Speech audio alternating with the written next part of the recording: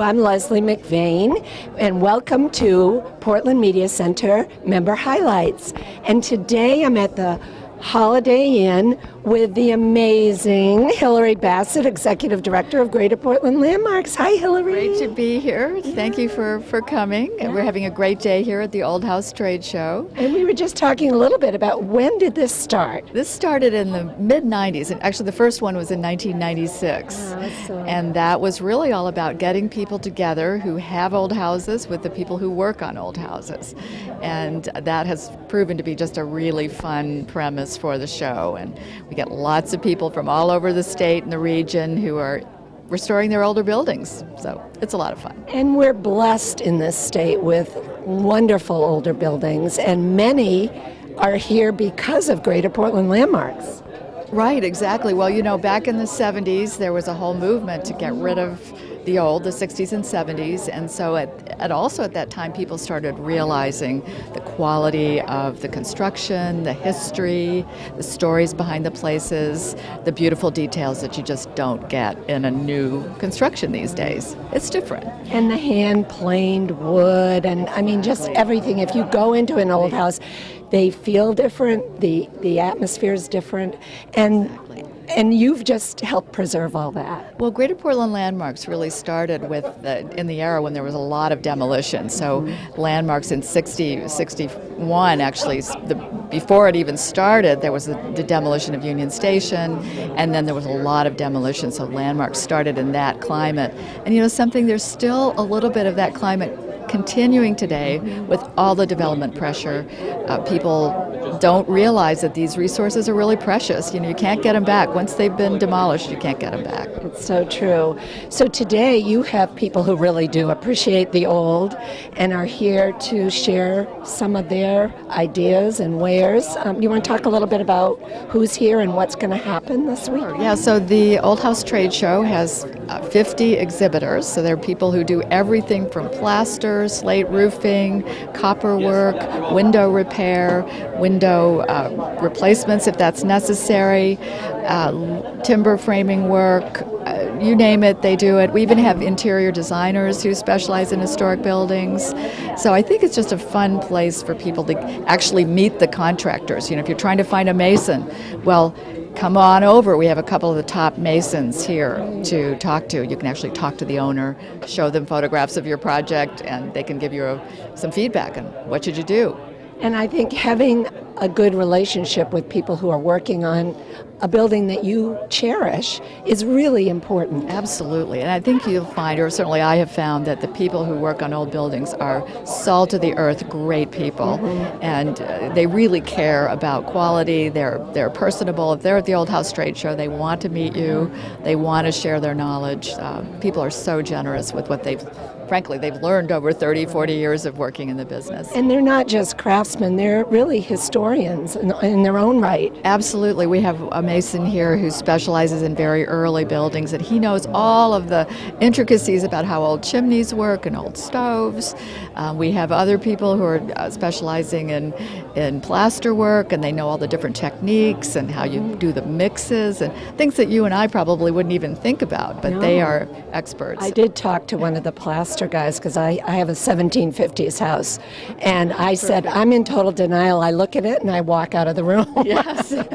well, people do get frustrated because they don't know what to do. And the beauty of the Old House Trade Show is these people know what to do. And, you know, I think people sometimes feel like, oh my gosh, it's just too big a project. What do we, how can I do it? And we're also doing workshops at the Old House Trade Show. Yes. So people, one of them is on how do I plan my projects? You know, mm-hmm. where do I start? I need everything. And so that's part of it where you can kind of phase it in over the, you know, the five to 10 year plan. So you're not feeling totally overwhelmed by a project that's too big. Another workshop you have is finding out who lived in your old house. I thought that sounded fascinating. That is a really fun topic where we actually, one of our staff members, Julie Larry, is expert at looking at internet resources, old city directories, photographs. So you can actually look up your own house and get the story of who was there and even how it evolved. You know, gee, when it was first built, what it, you know, was it different?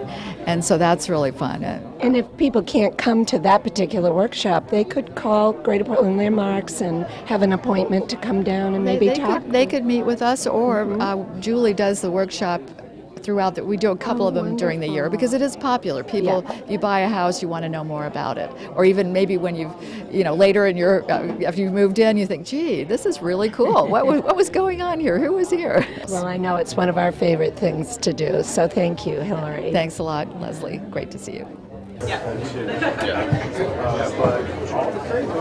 Well, people have come from all over the state, and I'm here with Mike Thompson. Hi, Mike. Hi, how you doing? I'm fine, and you're from Kennebunk. Correct. Yep, the old house parts company. Right. So, um, tell us a little bit about what you do in your business and why you're here. Well, we're an architectural salvage company and been in business for 23 years. And uh, I worked for the original owner for 18 years and just bought the business back in September. So I'm the second generation, but we sell we sell antique house parts, basically everything you can possibly think of. It's you know 12,000 square foot building, so it's lumber, thousands of doors, thousands of windows. Uh, we have a custom wood shop, so we, we build things from antique wood materials and yeah, yeah. So, very fun. people who have old homes can come, and people who have new homes who Yeah. want to add old details. Absolutely, it's it's it's probably a 50-50 mix, and you know our biggest sales are new construction, where people want all the doors in a new house they're building, and uh, yeah, it's cool. So it's reliving. So, when people are um, doing demolition in an old building, do they call you? Yeah, yep. A lot of local builders keep us in mind. Homeowners that do renovations, and we'll take stuff out. They'll, you know, seek us out to just, you know, make sure it doesn't end up in a landfill. And we dismantle or strip buildings, and yep. Right. Well, great. Have you have you been doing this for a while? Yeah. Uh, well, the trade show, it's um, it's been a few years, so this is our first year coming back. So we're excited to uh, hopefully reach a new audience and see see some familiar faces. Well, thank you so Thank you. much, Mike. Nice to meet Bye-bye. you. Thanks. I'm here with Dan Morales Walsh of Maine Stonescapes. Hi, Dan. How's it going? Uh, it's going great. Now, this is your business, even though I think you look too young to own a business. Thank you. Yeah. Yeah. When did you start the business? About three years ago, um, I felt it was time uh, to go on my own. I really wanted to do unique projects, and I felt on my own was the way to do that. Had you been apprenticing before that? I've been working about 12 years before I went on my own, and so I felt I had a, a good enough base to um, complete all the projects to the best uh, that can be done. Now it says Stonescapes, but now you do stone walls. Tell me what else you do. I also do uh, flat work. I try and keep everything natural. Um, I so I only like to use natural stone, um, and I use the oldest process that there has been because you know they last the longest. I don't try and do any shortcuts, any modern shortcuts that they have come up with. Um, it's all about old-time craftsmanship. And and to do a dry stone wall, you have to be visually really great. Yeah, it takes years to really hone in the craft and see what you could see in the stone and make it what it needs to be and uh, build a sound wall. I mean, there's really only a couple rules you got to follow to build a sound stone wall, but it, it takes a long time to follow those rules. And you've got a picture over here of a building that's the old uh, Gorham Inn or something. Yeah, it was the old Gorham Inn, and uh, the tavern was attached to it, and which is the neighbors now. Um, but about 80 years ago uh, was when the separation happened, and all the stonework was done, and it took about that long for it to fall.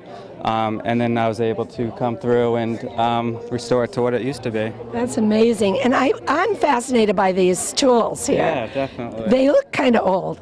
They look old, but it's it's it's an old process too. Um, they're not too old; they're about two years old, and I'm always having to switch out the handles because I'm I'm working with stone.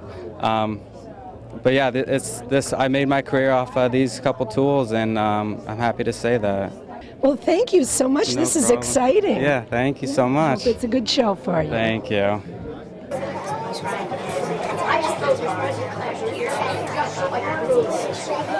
Well, I'm I'm thrilled to be with Deb Andrews uh, with Historic Preservation, right, Portland. for the city of Portland. Yes. Right. Hi, Deb. Hi, nice to see you. Nice to see you.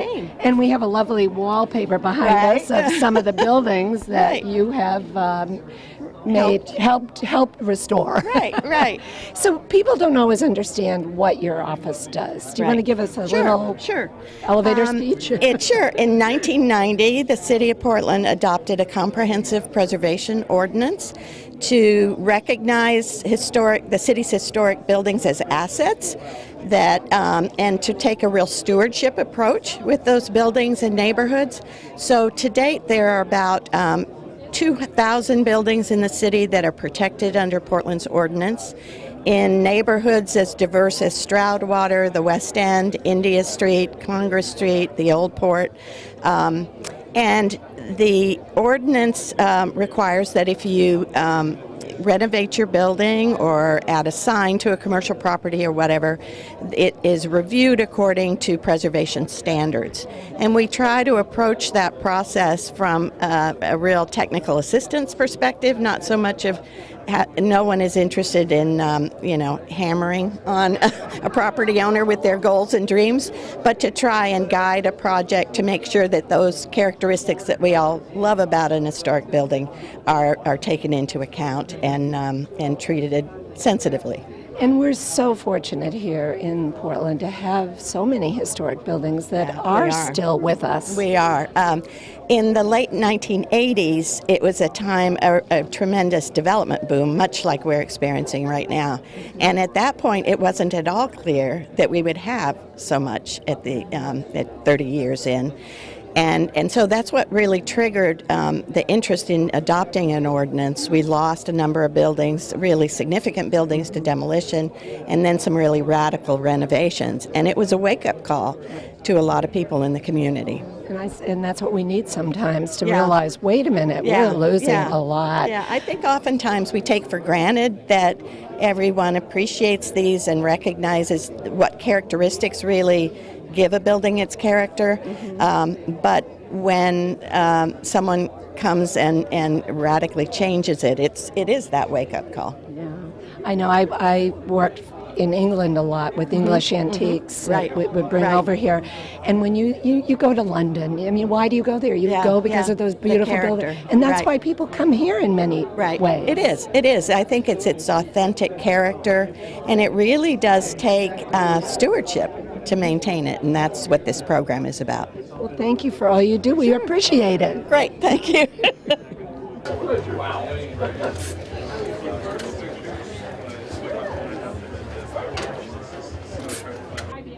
Now I'm with Wayne Valzania from Red Hook Design here in Portland. Hi, Wayne. Good morning. How are you? I'm fine. So let's talk about what you do. You do restoration and um, Replication, Replication. millwork um, on older homes, typically landmark structures where there's a requirement to maintain the integrity of the old building. Um, and we've done that for a very long time now. And many times you'll come to a site and see big chunks missing. So you have to replicate those. Chunks missing, and also lots of chunks that came from a variety of places that don't belong on that particular structure. so we've got an example here of a building, right? Yes, we do. Um, do you want to talk about what you did and what these pieces of wood are that Sure. you're holding? Sure. Uh, this building is in Brooklyn Heights, New York City. Um, it's a landmark structure, so there are strong uh, guidelines as to what we can and can't do in rebuilding that particular facade. Um, their requirement is that we go through and find old pieces of molding that are still somewhat intact and then use those. We submit them to landmarks. They approve them as being period correct, and then we can begin the uh, the restoration. And so, in this case, there's this is one of the only good pieces we could find on the building, and this is really what our target was, which has the front detail, but then also we have to match the depth of the piece and so on. So it goes this way, goes this way, and so um, we build up through glue ups, Um, and I have a knife maker. I think this is the guy. So we send off a piece of this profile to the knife maker. He makes a set of cutters for me, which are these guys. Oh, wow. And I have a machine that these are installed on, which allows me to make any amount of this. Oh my gosh, that's fascinating. And so on this particular project, there were probably at least a half dozen different details. So there's this particular piece, um, and you can see in the photographs, um, there'd be this bottom piece, top piece. These were hand carved capitals. So we took those off and hand restored them, much like we're doing with these knee braces. Uh, this is a Munjoy Hill House um, probably an 1890 project. So um, situation is similar, where you find old pieces and um basically capture the workmanship and then reproduce it. How fascinating. And you travel, obviously. You've done work in Brooklyn or New York. or- Typically here, and uh, and for a long time, I was doing a lot of work in New York City. Also, again, a lot of landmarks projects there, and so we, we work well in that market. Terrific. Thank you so much. This is fascinating. Thank you.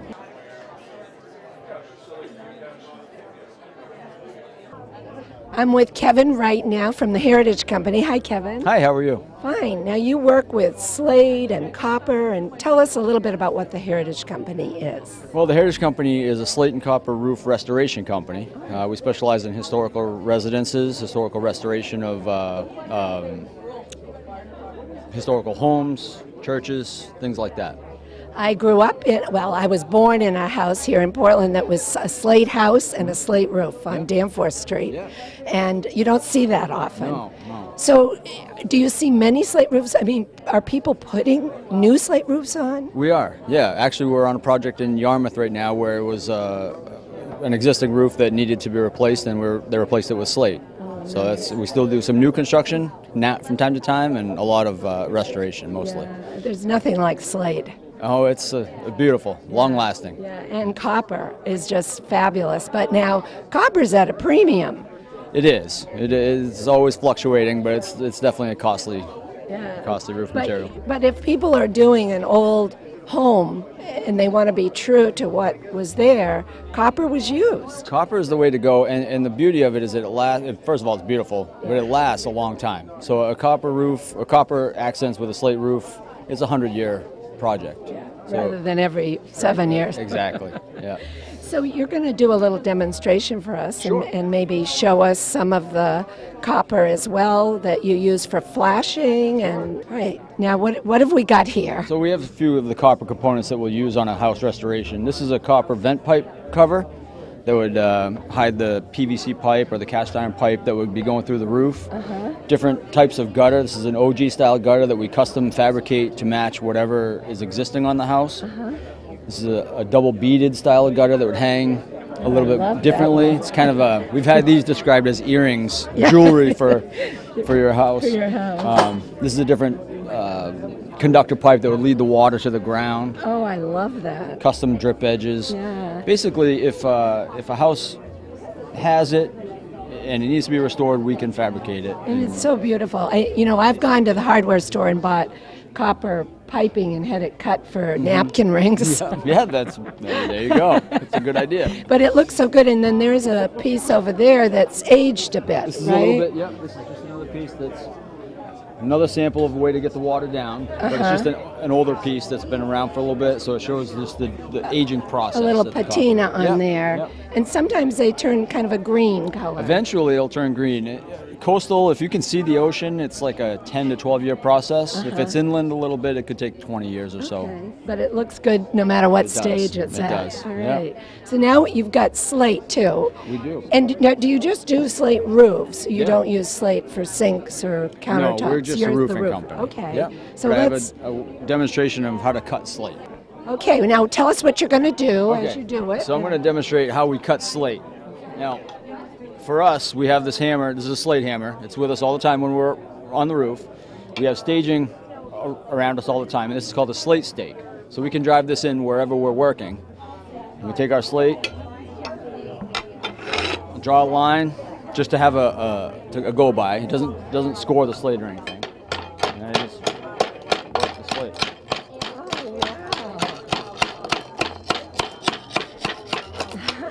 That's so cool. And then if I want to punch a hole, I Oh my can punch a hole. To, I've never seen that done before. there you go. Oh my gosh, that's fabulous. You- just told me something that I didn't realize. You did the Our company- restoration. yeah, our company did the restoration on the State House Dome. Um, it was a good project, a fun project. It was a lot of work, um, and a good project to be a part of. Yeah, a real historic project. Yeah, exactly, yeah. And, and it looks beautiful. Well, thank you. it was a Thank lot you. of work. Thank you. All right. Well, this is terrific, and I learned a lot. I didn't know. It seemed kind of easy the way you did it. It's really not hard. Yeah. I mean, it is a is an art to be good at it. Yeah. But it, uh, Yeah. the tools are basic and Yeah. it's easy to do. I, I'm afraid if I did it, it would look like that little pile try of. it? No. okay. Yeah. All right. I'm gonna me to hold it. this? Yeah. I'm gonna try it. All right. So what do I do? I take this.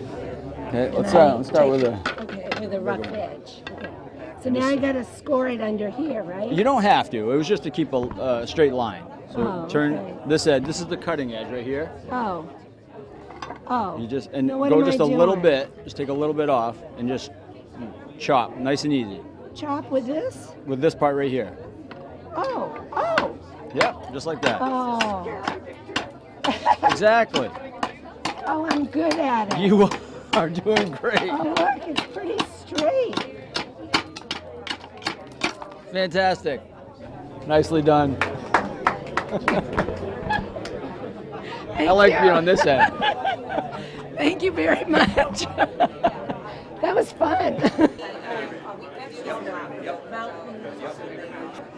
I'm with Justin Smith from New England Sash Company. Hi, Justin. Hi, how are you? I'm fine. So, this is what you do. Yep, yep, we're traditional wooden window makers. I've been making wooden windows since 1992.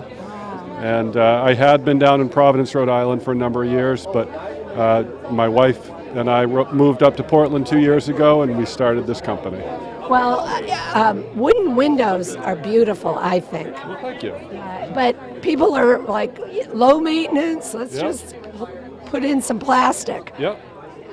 But you're obviously getting a lot of call for the beautiful old windows. Yeah, I don't think the traditional wooden windows are um, for the vast majority of applications out there, but um, there are certainly some people who put who value that. Uh, they're trying to match existing. They're building a wing on their house, and they want it to match the the sash that were there.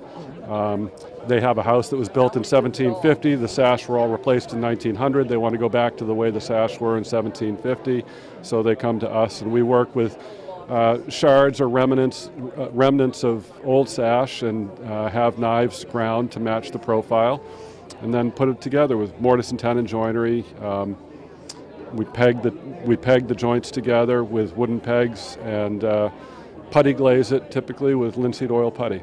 Oh, lovely. I know my sister and brother-in-law have a 1750s house, or maybe it's a little actually 1850s, and they have wooden storm windows. Do you do those? Absolutely, yeah. We have a screen over there. That's a. It's a similar idea. You sometimes we'll make sets of screens and sets of storms Yeah. that are interchangeable, and then seasonally they get swapped in and out. That's what they have to do every yeah. year. You know, th- for the right situation, I think an exterior wooden storm is a good application. It's not good on commercial buildings or buildings with multiple floors, but they do offer um, protection to the primary sash. And if you've had your windows restored or had new windows made and you want to give them some um, protection from the weather, an exterior wooden storm is a, a fine solution. Well, we've had a great time at the Old Home Trade Show, and I can't wait to say goodbye and go look at some of the other booths. This is Leslie McVeigh for Portland Media Center.